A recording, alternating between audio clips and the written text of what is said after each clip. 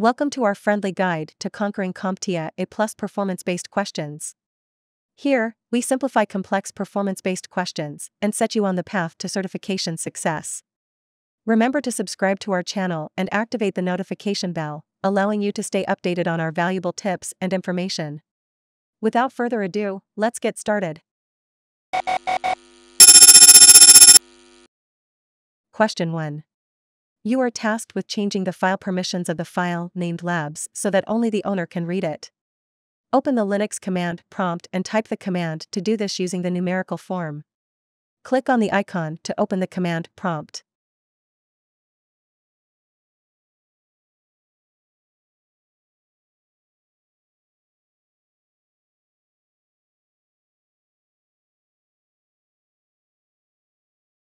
Question 2. Open the Linux command prompt and remove all the .txt files with a single command.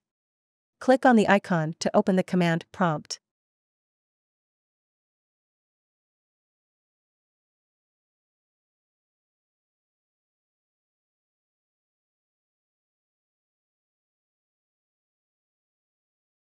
Question 3. A file named labs.txt needs to be moved from its current folder into the labs folder. Open the Linux command prompt and type the command to do this. Click on the icon to open the command prompt.